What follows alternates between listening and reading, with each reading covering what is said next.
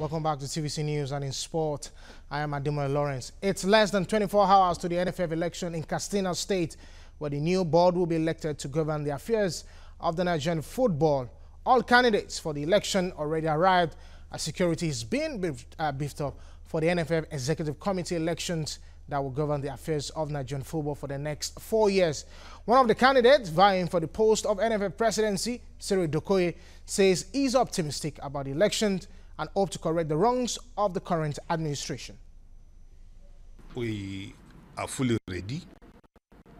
We have received the letter of the election that is uh, due to take place on Thursday, 28th September 2018.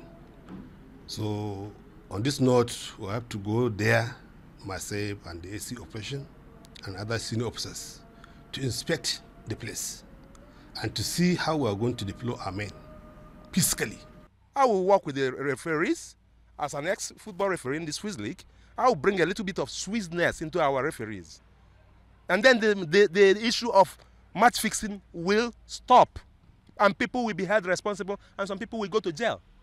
Sec secondly, the money of football should be given back to football. I will invest in building like 72 stadiums in four years.